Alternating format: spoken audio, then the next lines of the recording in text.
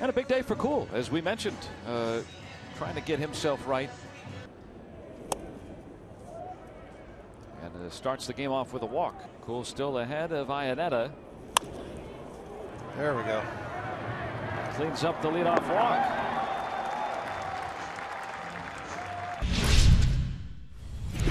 I look at the numbers. Kyle Freeland, uh, you know, nothing really great right there. ERA, yeah, probably about average for nowadays. Besides what I was saying earlier. 93. Yep. Came upstairs on him, even though it was just 93.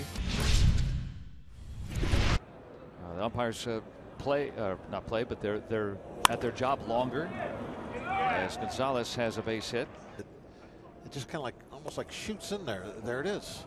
Same one again. Down and away. That's what he was trying to do there. And he missed so widely on it. And he was able to locate that one decent. He gets an easy fly out.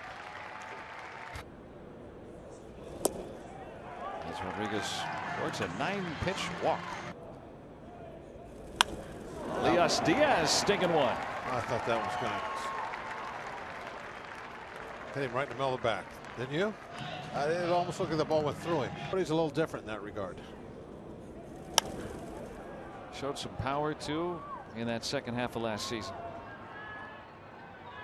But here, the final out. Cervelli put his hands on the umpire's shoulders. today, nice and sunny. Warming up into the 50s here today. Up toward the notch. And on the roof of the bullpen, uh, Chris Iannetta with a home run. Well, if you, I don't know if anyone caught uh, Kuhl's reaction. Before that ball's even out of the infield, he knows it's gone. I mean, he was very upset with the way it was hit. And then uh, when we see where it lands, then we know why he knew it was gone. And he strikes out Blackmon. Man, that's a backdoor curveball.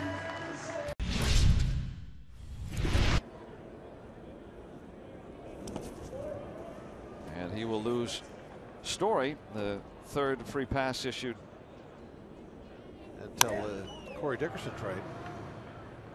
This was starting to shape up like a quick inning for Kuhl, but now the Rockies have put two on. A little check swing. And the shovel play, and Bell came down in time. Thanks, Gravity. Anyhow, story, I mean. Diving play by Gonzalez, robbing Marte, and he tips his cap. How can you not on that good play? He hasn't been exactly the most efficient on there either, but he's been effective. And that's a big help right there, getting that two out walk. Down the line, and this one is gone. A home run. Sean Rodriguez puts the Pirates in the lead.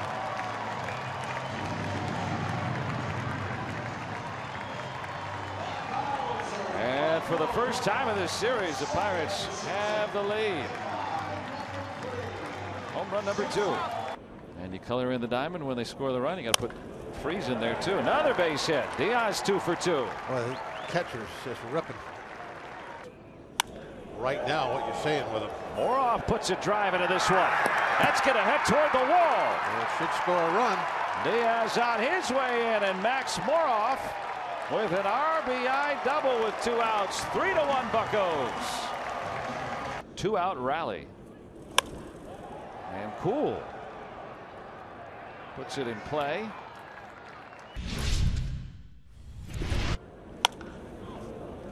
Soft liner that's going to drop in. And a one out base runner, LeMahieu's first hit tonight. When he came up, he's a sinker slider guy. And now he gets a strikeout there, but but being able to maybe because he certainly got the strikeout stuff. Comes in and hits Blackmon.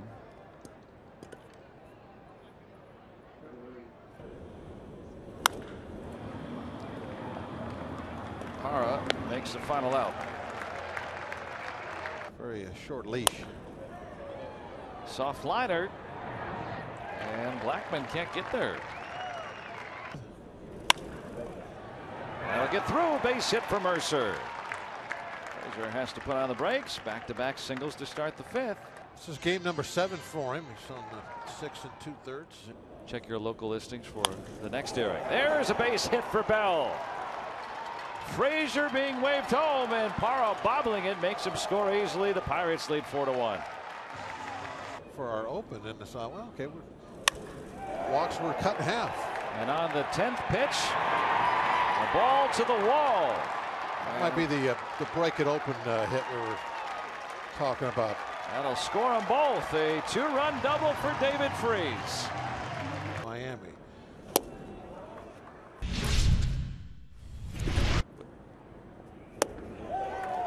Chad Kuhl with a very strong outing today. One run over six.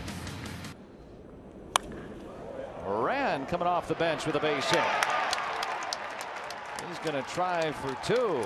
And Moran, the rookie with a pinch hit double. Four innings or so. Frazier has one rolled through. Moran's going to be waved home. He's scoring on the RBI single by Frazier, and it's 7 to 1. Because we haven't been hitting of late, uh, you know, had some. They get the little infielders clubs, the little tiny ones, just for the uh, flip games. Oh, Jerry. Davis kicked the ball Kick away. the ball away. Top of your fingers. And that's what's giving the, the spin for the break. Or you could just have the ball put in play. We don't have to talk about 15th century Germany again. Antonio Senzatela coming on. How about Sean Rodriguez drawing two walks today? And I used to watch Romper Room. I used to think that the teacher could see us. is such a familiarity with a guy like Felipe Vasquez might help him acclimate a little bit to the clubhouse and to the city a little bit. And, and the guys that have been sent down, they don't have to stay down forever. If they pitch well down at AAA and there's a spot for them, uh, they can come back up. And so, you know, but, Yeah. but don't uh, just stay with the same results. Yeah, great point. It's gone sometimes from making a, a poor pitcher into a usable pitcher. We've had poor pitchers become stars. in the case of his uh, former teammate. That's an infield hit for Story. Eddie Romero Gapper, with his first major league hit, and it's going to be for extra bases. Dance around those bags, Eddie. You got yourself a double. Look at him turning left.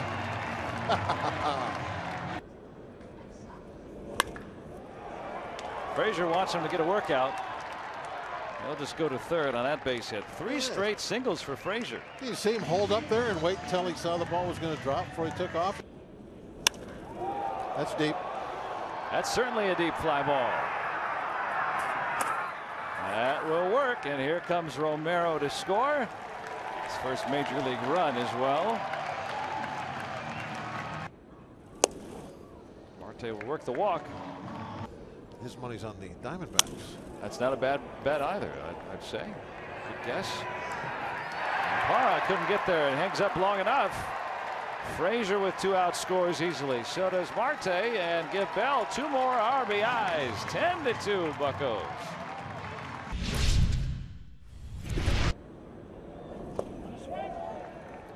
Talkman down on strikes.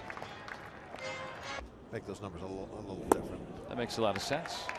He's struck out three in a row now. DJ LeMahieu, one for three, two for four.